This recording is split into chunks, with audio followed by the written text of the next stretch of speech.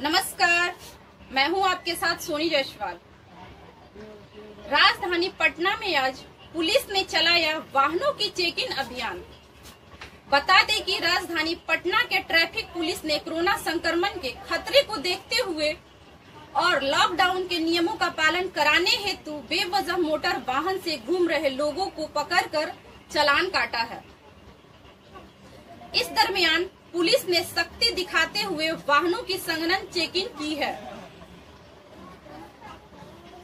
वहीं बता दें कि पटना मेडिकल कॉलेज हॉस्पिटल में रेप मामले को लेकर राज्य महिला आयोग की अध्यक्षा दिलमणि मिश्रा ने पीएमसीएच अधीक्षक को पत्र लिखकर इस मामले में किए गए कार्रवाई का जवाब मांगी है।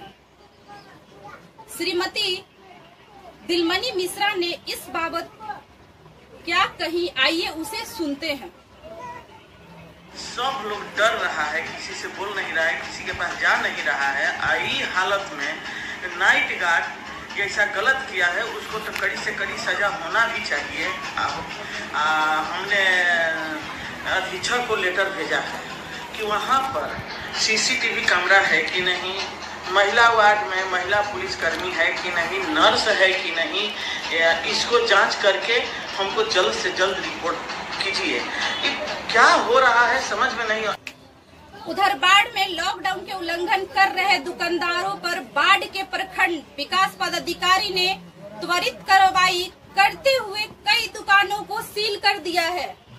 बता दें कि बाढ़ के वीडियो अमरेंद्र कुमार ने इस संदर्भ में बताया कि बाढ़ में कोरोना संक्रमित मरीजों के मिलने के कारण प्रखंड प्रशासन ने अपने दल बल के साथ बाज़ार में दुकानदारों के बीच गई। जो दुकानदार लॉकडाउन और सोशल डिस्टेंस का पालन नहीं कर रहे हैं, उन्हें सख्ती बरतते हुए सील कर दिया गया है।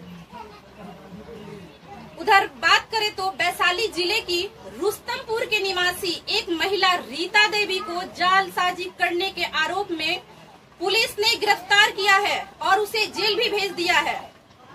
यह महिला स्वयं सहायता समूह चलाती थी। बता दे कि लगभग एक लाख रुपए की जालसाजी का मामला बताई गई है। तो ऐसे ही खबरों लेकर मैं आती रहूँगी। नमस्कार।